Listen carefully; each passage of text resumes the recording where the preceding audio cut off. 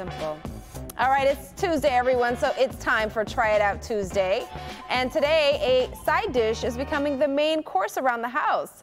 Sometimes the most unexpected things can help out in ways that you didn't even know it could. Kyla Peoples found out that this is true with this particular food. What did you find, Kyla? Good morning, Tati. Well, you know, I think almost everyone, including myself, bought multiple bags of this over the past few months, and they might not know what to do with it. Well, I discovered a few ways you can use this long grain starch around the house. Let's try it out. We are going to check out some of the things you can do around the house with rice. Is your coffee maker looking a little cruddy? Just add a half a cup of rice and a cup of water to the carafe. Swish it around for a few minutes and your coffee maker will be sparkling.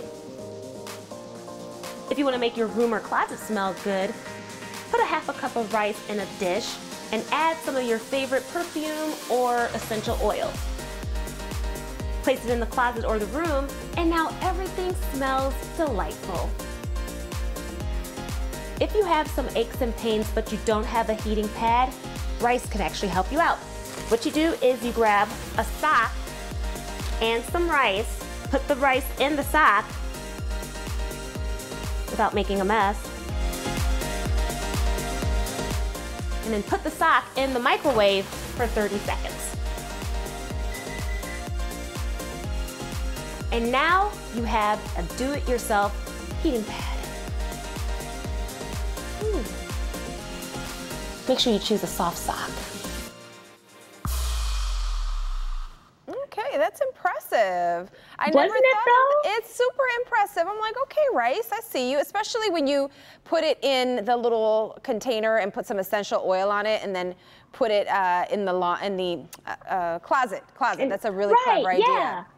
You know, I've actually noticed that happen with like certain like coffee beaneries and coffee shops. Sometimes they do like rice and like little coffee beans in there. Never thought it would like hold the scent, but it has so far in my closet. Very cool. The sock thing was my favorite though because you know sometimes you have that lone lost single sock that needs to be matched up him. with something. Yeah.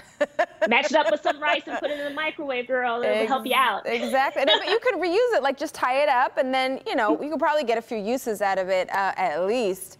So talk I to me. I actually did. Did you? Okay, yeah, I good. did. Mm-hmm. So talk to me about using rice in your beauty regimen.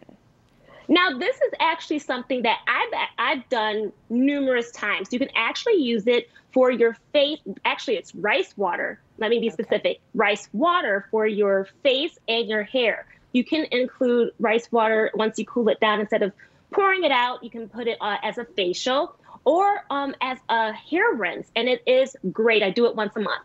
Okay. I've seen those rice water uh, videos on YouTube. All right, I was like skeptical. I was like, do people really do this? But clearly they do. They do, and you actually have to ferment it for a couple of days. Okay. Like you have to put it in a container, put it away, and then bring it out. Um, it is it is a wonder. I've noticed a, a vast like change in my hair since I started doing it. Okay, good tips, Kyla. Thank you so much. Thanks, Tati. Have a good one.